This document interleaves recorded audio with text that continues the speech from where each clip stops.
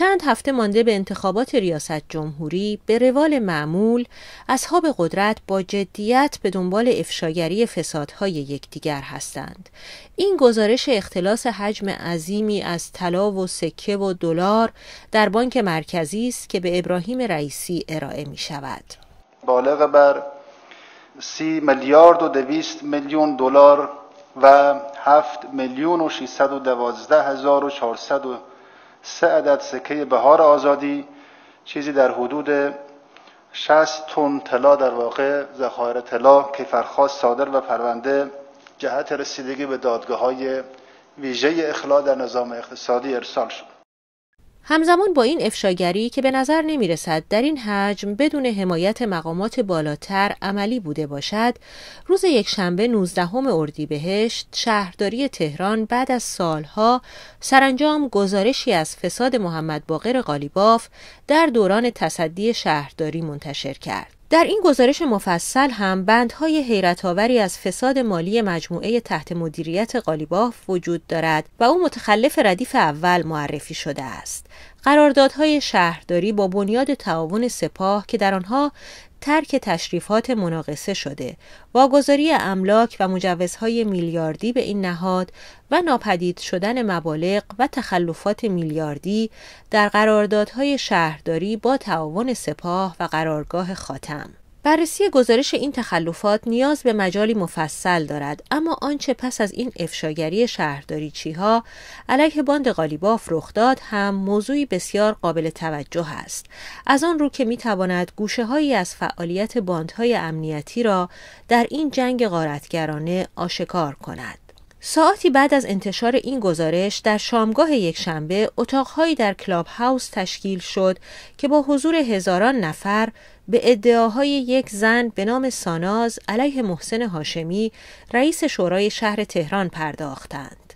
در این اتفاق عجیب این زن ادعاهای عجیب و غریب خود را با ذکر جزئیاتی حیرت انگیز مطرح کرد. او گفت مدتها با محسن هاشمی رابطه داشته و از این ارتباط مستمر فیلم و صوت بسیاری هم تهیه کرده است. صداشونو دارم صداشون روی دادگاه هست. اسمس هاشونو دارم. صداشونو دارم مستنداتشونو دارم. روی هوا حرف نمی‌زنم. به حال باز هم پوزش می‌خوام. از دوستان محترم از کسایی که به هر حال روزه دار بودن اومدن افطار کنن با حرفهای من شاید آزار دیدم واقعا من حلالیت می‌خوام. به حال امیدوارم که حداقل صحبت های من تونسته باشه. یه کمکی کنه به زنهایی که شاید شهامت ندارن بیان بگن که محسن با ما این کار کرده. من می‌دونم. کمان که خیلی دو سه نفر با خود من صحبت کردم و به وقتش میان دادگاه محسن هاشمی. اما هرگز الان به تو نمیگم کی هستن. چون اگر به تو بگم کی هستن تا میشه تهدیدشون آدم میفرستی در خونهشون بکشیشون. مسلما نمیترسم ازش. خودشم می‌دونه. محسن منو خوب می‌شناسه. محسن محسن هاشمی اگر صدای من میشنوی دوستانی که صدای منو میشنوین برید به محسن هاشمی برید. محسن هاشمی بهنمانی فرزند اکبر من رو خیلی خوب می‌شناسه. می‌دونه شخصیتم چطوره. می‌دونه هیچ حرفی رو بدون مدرک نمی‌زنم. می‌دونه برای هر حرفیم دلیل و مدرک دارم مستند صحبت می‌کنم و می‌دونه کوتاه نمیام ببینید صبر انسان ها میگن که کسایی که صبورن صبورن صبورن یک دفعه وقتی منفجر میشن این کوه آتش فشانن. دیگه چی جلو دارش و من یک سال و نیم تمام با پسر شیخ اکبر صبوری کردم. همه فامیلاش اگر معترضن و ناراحت هستن بیان من جوابشون رو میدم. بیان بهشون میگم که من یک سال و نیم تمام با ایشون صبوری کردم. یک سال و نیم تمام بدترین رفتارها رو ازش دیدم. معشوقش به من زنگ می‌زد می‌گفت تلفن کن گوش بده صدای رابطه سکسیمونو و زنگ می‌زد رابطه سکسیشون رو من گوش بدم. و من سکوت می‌کردم و هیچی نمی‌گفتم. آقایون خانم هایی که داریم میشنویم مدیریت این اتاق در کلاب هاوس را فردی به نام مجید رسولی به عهده داشت که مدعی است قبلا در ایران طلبه بوده و همینک مقیم کشور کانادا است.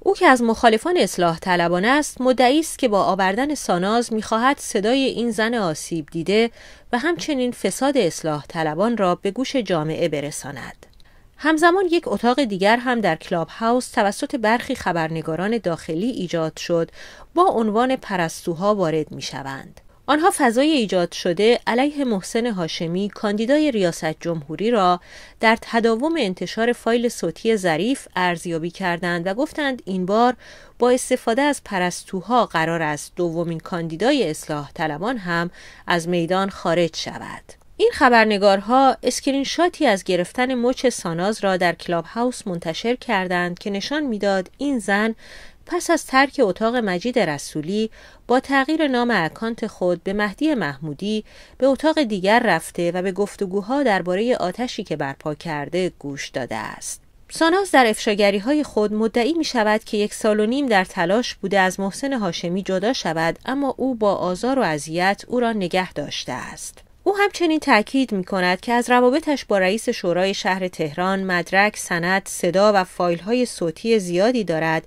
که به دادگاه ارائه داده. ادعایی که شاعبه پرستو بودن او را پررنگ می کند. ساناز همچنین به تاکید از ابراهیم رئیسی و رهبر جمهوری اسلامی برای کمکهایشان به او در شکایت از محسن هاشمی تشکر می کند.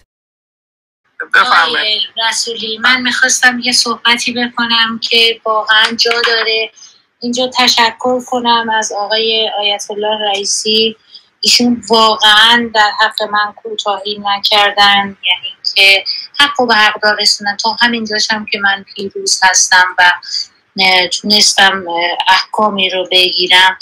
اگر کمک ها و حمایت های قوه قضاییه نبود من به حقوقم نمی رسیدم جا داره تشکر کنم از رهبر عزیزم که مثل شیر بالای سر مردمش وایساده ریزترین اتفاقات در کشور رو ایشون رسد می‌کنن. و درایت و هوش و ذکاوت ایشان به همگان پوشیده نیست. که در هر زمینه ایشون اظهار نظر می‌کنن در هر زمینه ایشون صاحب نظرن در هر زمینه اهل فنن.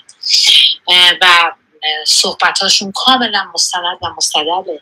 بنابراین من واقعا تشکر می‌کنم از قوه قضایی کشورم و تمام انرژی که من دارم اینه که می‌دونم که با حضور آقای آیت الله رئیسی هیچ حقی پایمان نخواهد ممکنه که آقای هاشمی لایه های نفوذی شش تا لایه نفوذی در جاهای متفاوت قوه داشته باشن.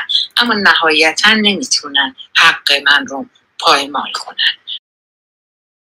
این زن گرچه احتمالا مدعی رابطه نامشروع، تجاوز یا آزار جنسی نیست، اما محسن هاشمی را به آزار از نوع دیگر متهم می کند. حقیقتش جناب رسولی من داشتم فکر می کردم که چرا باید یک رابطه انسانی از طرف یه مردی که به قول آقایون و خانم هایی که برایشون پیام دادن مرد مؤمن با خدا انقدر غیر انسانی باشه که منی که اصول و اعتقاداتم یعنی من کلا اصول اعتقادات اخلاقی خیلی پایبند هستم و برام خیلی مهمه. هم به شهر خیلی معتقدم هم به اصول اخلاقی. باعث بشه که مجبور بشم اینجوری این اتفاقات بیفته؟ چرا باید یک سال و نیم تمام تو هر شب هر شب هر شب ازت خواهش کنم تقاضا کنم محسن بذار محترمانه تمومش کنی؟ چرا باید این کارو بکنه؟ شما فکر نکنید من الان آرامش دارم از اینکه بشینم مسائل خصوصی زندگیمو باز کنم با مردم. من لذت نمی‌برم. من آزار می‌بینم. خلاف محسن آشمی که لذت می‌بره مسائل خصوصیشو برای دیگرون تعریف کنه من آزار می‌بینم. آزار می‌بینم مجبور بشم به خاطر اثبات کردن حرفان به مردم مسائل خصوصیم رو بخوام باز کنم. معلومه؟ محسن نمیاد بگه من مقصرم. یک اتهام دیگر این زن به محسن هاشمی این است که او از امکانات دولتی در جهت اهداف شخصی خود مانند ارتباط با زنان متعدد استفاده کرده است. در رابطه با اینکه ایشون عوامل شورا رو در جهت منافع و کارهای شخصی خودش استفاده می‌کنه. یه نمونهش این که فکر کنید محسن میومد خونه من رانندش میومد محافظشم بود و ماشین پایین منتظر بود. دو ساعت سه ساعت چهار ساعت بعدش می‌رفت. حالا خونه اون خانم در کرج من مدارک مسترداتشو دارم به دادگاه ارائه میدم. اونجا هم همینجور. آیا من می‌خوام سوال کنم؟ این خانم آقای راننده این آقای محافظ یعنی واقعا متوجه نمی‌شد محسن کجا میره؟ واقعا متوجه نمی‌شد که اینجا یه خونه است. دفتر کار نیست اداره نیست هیچ وزارت خونه ای نیست. یا خونه های دیگه ای که محسن رو میبردن. پس اونجاست که میگم که کارمندای محسن جمع شدن در جهت منافع شخصی محسن. بیلت حرف نمی‌زنن این زن انجام اعمال مذهبی توسط محسن هاشمی را هم زیر سوال می‌برد. مطالبی که مشخص نیست چرا باید در یک دعوای زناشویی مطرح شود اما می تواند التزام عملی محسن هاشمی به اسلام را زیر سوال ببرد و بهانه خوبی برای رد صلاحیت او توسط شورای نگهبان باشد. ولی من واقعا همچنان باز هم میگم برای تو محسن هاشمی بهرمانی فرزند اکبر. واقعا برات متاسفم که به اندازه یک پسر 15 ساله شعور و فهم درایت هست یعنی به اندازه یک مرد 15 ساله نمی‌فهمی چه رسد به اندازه یک مرد 60 ساله؟ نیازی نیست محسن هاشمی نماز بخونی روزه بگی. انسان باش. فقط. حال بماند که من باز هم مستندن می‌تونم ثابت کنم که محسن بارها و بارها در ایام رمضان در کنار من بود و روزه نبود. ببینید من این حرفا رو اینجا می‌زنم حالا مستندن می‌تونم بگم که وقتی می‌زنم یعنی اینکه هیچ ابایی از اینکه بهشون بده شکایت کنه بگه که ایشون به من گفته تو روزه نبودی ندارم چون می‌تونم ثابت کنم زمانی که ماه رمضان بوده محسن تایم غیر از افتار در کنار من این زن ضمن تاکید بر رفتار غیر اسلامی محسن هاشمی بر جنبه بیماری جنسی در وجود این آقازاده معروف هم اصرار میورزد و در سخنانی تکان دهنده می‌گوید او به هر خبرنگار زنی که وارد اتاقش می شود پیشنهاد رابطه جنسی می دهد. محسن هاشمی برای خیلی از افراد من این خیلی گفتم شاید محسن هاشمی باشه. که اسمشو با یدک کش هم نمی‌تونی بکشی. ولی گفتم باز هم میگم به اندازه یه پسر 15 سالی مسلمان ایشون انسانیت در وجودش نیست. رفتارش کاملا غیر انسانی غیر اخلاقی غیر اسلامی. و من ثابت هر کس ادعا می‌کنه که من علکی میگم بیاد من بهشون بگم آقا جان این که میشینه روابط خصوصی نزدیک پوزش می‌خوام زناشویی با من رو برای یک زن دیگه تعریف کنه آیا لذت جنسی می‌بره؟ آیا بیمار جنسیه؟ بفرستینش پزشکی قانونی. من حتما تقاضا می‌کنم از دادگاه که محسن رو بفرستم پزشکی قانونی. یه آدم عادی آقای رسولی آقای فریبرز این حرکت رو نمی‌کنه. الان تو همین گروه یه نظرسنجی کنید یه مرد عادی میل روابط جنسیشو برای یکی دیگه تعریف می‌کنه و یه زن دیگه بعد نمره بدید به آقای هاشمی. به رئیس شعبه شهر تهرانتون به کسی که تهران رو سپردید دستش. به کسی که همون خانومی که همون خانومی که از دوستان و کارمندان شفیق محسنه میاد میگه که محسن هر خبرنگاری وارد اتاقش میشه بهش پیشنهاد همونطور که ملاحظه می شود فاجعه ابعاد بسیار تکان دهنده ای دارد. افشای روابط خصوصی مردان نظام از یک سو و ابعاد فاجعه تخلفات و قانون شکنی های میلیاردی در زمان شهرداری غالیباف از سوی دیگر اینکه او اکنون رئیس دستگاه قانونگذاری کشور است نیز یک فاجعه است و اینکه به گفته برخی رسانه ها نبرد جیب با زیپ حالا دیگر قاعده جدید سیاست ایران است. یعنی وقتی شل بودن جیبتان لو رفت شل بودن زیپ دیگری را لو بدهید اصلاح طلب ها تقریبا مطمئن هستند که فرستادن پرستو برای محسن هاشمی و افشاگری های ساناز درست همزمان با گزارش تحقیق و تفحص شهرداری کار محمد باقر قالیباف است که حالا در سکوت به ماجرا نگاه می کند. اما به نظر می رسد اگر آوردن ساناز به صحنه کار او باشد او و همدستانش برای مقابله با گزارش شهرداری در یک اقدام عجیب تمام ارکان نظام را زیر سوال بردند محسن هاشمی فرزند یکی از ستونهای بنیانگذار نظام جمهوری اسلامی است. آیا تربیت اکبر هاشمی رفسنجانی به پرورش فرزندی ختم شده که می‌گویند حداقل با 101 زن رابطه داشته است؟ قبل از ماجرای کلاب هاوس یک شنبه شب فایل صوتی از زنی به نام مژگان نیازی منتشر شده بود که ادعا می‌شد کارمند شهرداری و عکاس روزنامه فرهیختگان است. او می گفت محسن هاشمی او را یکصد و یکمین معشوقه خود دانسته است. در این فایل صوتی که توسط رسانه های اصولگرا منتشر شد بخش هایی از مجادله محسن هاشمی هم با همسرش آمده که ماجرا را انکار می کند اما حالا ساناز می گوید برای تمام حرفهایش سند دارد. شاید مجنون باشه ولی هنوز عاشق نیستم. محسن بارها و بارها و به کرات به من مدعیه که تو صد یکمی هست. از یکمین دخترایی هستم که باشون در ارتباط بوده. اختلافاتی که فیما بین من و یکی از بستگان بسیار نزدیک ایشون صورت گرفت.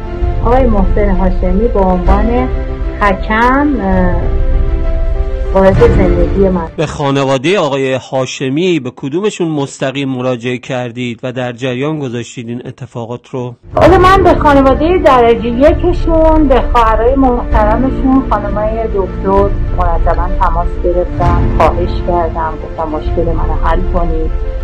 و حتی آخرین بار با خانم دکتر فائزه صحبت کردم.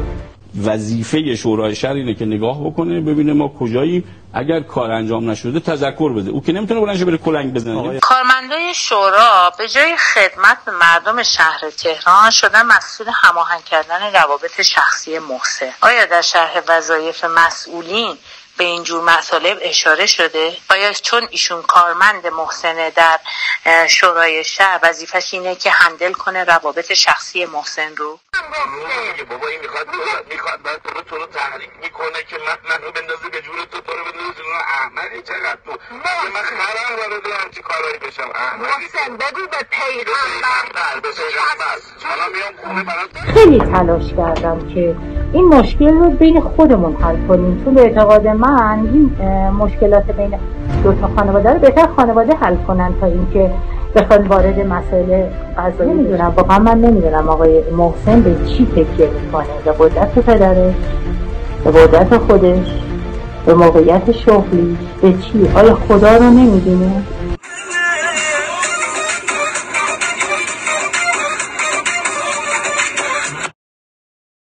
یکشنبه پیروز هناچی شهردار تهران هم استفاده از پرستوها برای اقوای خود را تایید کرد و گفت نمی‌دانم به کجا وابسته بودند. به نظر می رسد موضوع پرستوها به یک چالش دائمی برای مردان نظام تبدیل شده است. محمد علی نجفی شهردار سابق تهران که در خرداد 98 به قتل میترا استاد همسر دومش اعتراف کرد را بسیاری یک قربانی شاخص پرستوها می‌دانند. گرچه نهادهای امنیتی در جمهوری اسلامی استفاده از پرستوها را انکار می کنند اما افکار عمومی همواره این نهادها را به پرواز دادن پرستوها متهم می کند. آنها تصاویر زنان با هجاب غیرقابل قبول از نظر حکومت در مراسم حکومتی که تصاویر رهبر جمهوری اسلامی را با خود حمل می کنند و از مردان نظام حمایت می کنند را نشانه قوی از جریان پرستوسازی و پرستوبازی در نظام می دانند. اما گذشته از ابعاد امنیتی ماجرای پرستوها نشان می دهد که مردان دست پرورده نظام تا چه مایه گرفتار غریزه هستند که آموزه های نظام پیروی از آن را نهی می کند اما گویا برای فرزندانش جذابترین پدیده زندگی است به حدی که حاضرند حیثیت و آینده شغلی خود را در نظام هم بر سر آن قمار کنند حسین رزاق فعال رسانه‌ای درباره ماجرای محسن هاشمی می‌گوید تنها چیزی که از این سیستم برای همه کاملا شفاف شده باز بودن زیپ همه مسئولینش است. صبح این طرف تحقیق و تفحص از غارت فلانی فاش می کند. شب آن طرف از رختخواب بهمانی رونمایی می کند. شلزیب ها حاکمند. شما درباره این حرفها چه فکر می کنید؟ آیا شما از آن دسته ای هستید که می‌گویند مسائل شخصی محسن هاشمی به خودش مربوط است؟ یا او را ثمره سیستمی می‌دانید که پرورش چنین مسئولانی در آن کار ملک و ملت را به اینجا رسانده است و مردانی که با دیدن دست یک زن تحریک می شوند آیا هرگز می توانند مدیران خوبی برای اداره یک کشور باشند؟ مسئله دیگه اصلا افراد تحریک نمیشن خانم های اروپایی دارن رو میارن به مردان آفریقایی مردان نمی‌دونم عرب و ایرانی و غیره خب این ما بعد اون روش درستی که اسلام گفته و اونچه که مطابق با خلقت او در ممنون از اینکه با ما همراه بودید. کانال کوچه جایی است برای حرف زدن از مسائل روز ایران. اگر مایل به گفتن و شنیدن از ایران هستید، لطفا نظرات سازنده خودتون رو برای کامل شدن موضوعات مورد بحث روی دیوار کوچه بنویسید و اگر روش ما رو در انعکاس مطالب میپسندید، به جمع همراهان نازنین کوچه بپیوندید. دکمه subscribe در پایین همین ویدیو هست. سپاس.